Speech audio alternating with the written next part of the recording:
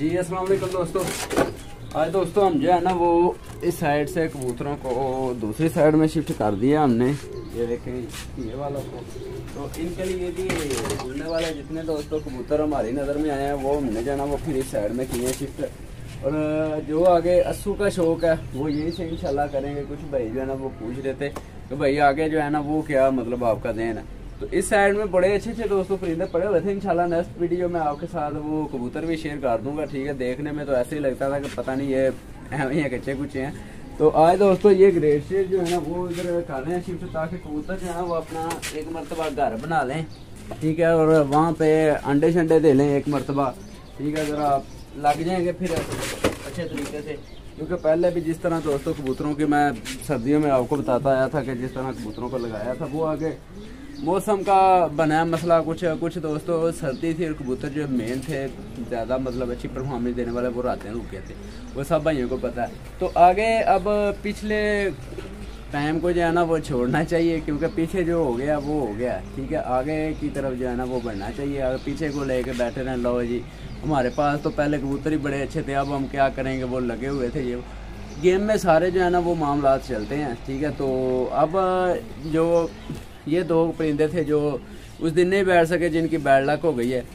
तो वो भी एक खेल का हिस्सा है, ठीक है? गेम में इतने इतने अच्छे कबूतर घर के जोड़ों वाले कबूतर घर की ब्रीड जो है, वो भी इस तरह जो है ना मुस्लिम साल बन जाते हैं, परिंदे का सामान में सौ मर्द बन जाती है कबूतर के साथ। तो कबूतर की बैड लक हो जाती है, ठीक है? चैम्पियन से चैम्पियन उस्तादों के परिंदों को भी जो है ना ये मसले बन जाते हैं। तो उसके लिए नहीं इतना करना चाहिए। ठीक है, अब मेरे मतलब मुझे मुझे भी दोस्तों लगा था इस तरह से कि यार अब मतलब मेन परिंदे थे दोनों और दोनों ही नहीं बैठ सके। अब आगे क्या बने, हालाँकि साढ़े तीन बजे, ढाई बजे, ये, इस टाइम का मतलब टाइम था।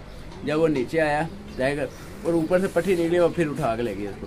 फिर वहाँ पे बंदा क्या करना तो उनको धागा डाला हुआ है कि यार वो अब उनको जाना वो बिठा लें, ये वो। फिर भी मेरा दिन ये था कि चलें यार, चले गए खैर है कोई मसला नहीं हिट तो पकड़ लेंगे ना। तो हिट के चक्कर में जो है ना, वो काम सारा उल्ट हो गया। तो कोई नहीं, इंशाल्लाह आगे नेक्स्ट सीज़न के लिए दोस्तों तैयारी कर रहे हैं मतलब असू के लिए। तो ये हमने फिर दोस्तों शिफ्ट किए हैं कबूतर। ठीक है असू के लिए। कुछ हम ले के आए हैं, कुछ पकड़ा पकड़ाई के लिए तो इन आगे बच्चे भी ऊपर शिफ्ट करेंगे। अपना होम रेट जो भाई बोल रहे थे कि अपने बच्चे जो है ना, वो ज़रूर शिफ्ट करें। तो इसके लिए, इस साइड में दोस्तों शिफ्ट किया अच्छा एक और आपको बात बताऊँ जी, वो बच्चे जो थे। ठीक है जो मैंने पहले ऊपर शिफ्ट किया था, पहले भी आपको बताया था, उस दिन भी वायरस का मसला बन गया था, पता नहीं क्या मसला यार, झोला हो जाता है, बच्चों को जैसे ऊपर छत पर शिफ्ट करते हैं। तो उसके लिए अब जितने भी बच्चे थे, वो सारे अल्लाह को प्यारे हो गए हैं, ठीक है, उसमें से कोई बच्चा नहीं बचा। हालाँकि जो बच्चे तीन महीने बाद ही में उड़ाए थे, वो भी दोस्तों बच्चे जो है ना, वो जाते रहे हैं, ठीक है, वो भी वायरस का शिकार हो गए हैं। उनमें से एक तो बच्चा ऐसा था, वो तो बाजी वाले दिन मैंने उड़ाया ही नहीं था दूसरे दिन। ठीक है, क्या था यार, चलें, ये बच्चा जो है ना, नहीं उड़ाते, इससे ये ना हो मतलब कि पता नहीं परवाज करने की वजह से कोई मसला बन रहा है। तो वो नीचे से उसको मसला बन गया था, ठीक है, वो उड़ाया भी नहीं था।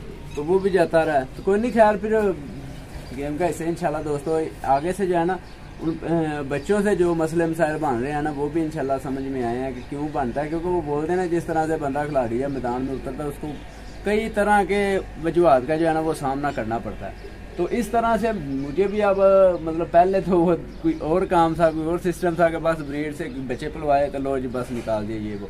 अब उनका उड़ाना, उनको चलाना, उनका सारी समझ, सोच रखनी, वो जो है ना वो समझ सकते हैं कि वो तो पूरा प्रैक्टिकल करना पड़ता है। बाकी ये है कि दोस्तों, अब ये जो ग्रेड इधर मैं शिफ्ट कर रहा हूँ, ठीक है, और वो भी पड़े हुए हैं। इनमें सफ़ाई तो की है मैंने, ये थोड़ा बहुत रहेगा एक तो नहीं, इंशाल्लाह ये भी कर लेते हैं। तो इनको दोस्तों, अब जो है ना, मैं इधर शिफ्ट करूँगा दूसरी केज में, ताकि ये जो है ना, अंडे शंडे तो दें एक मतलब इनके पार्शल दोस्तों, वहीं से परियाँ काट देंगे, गोल करके कबूतरों को छोड़ेंगे, पहले पर बाँध के छोड़ेंगे।